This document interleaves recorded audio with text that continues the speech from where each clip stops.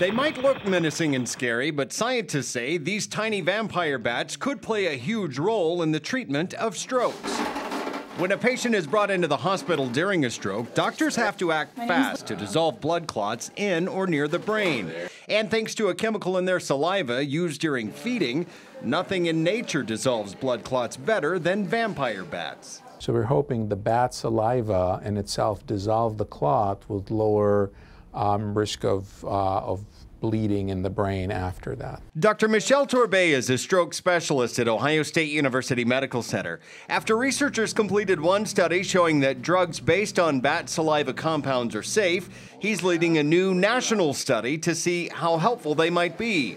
With current drugs, doctors only have a three hour window to treat stroke patients, but the bat saliva drugs could triple that. This is one of the studies that actually have extended the windows up to nine hours. So, patient, when they present after stroke from um, three hours of symptom onset till nine hours, now they have another option that's available. That could make all the difference to patients like Pearl Braskett, a Korean War veteran with three Purple Hearts.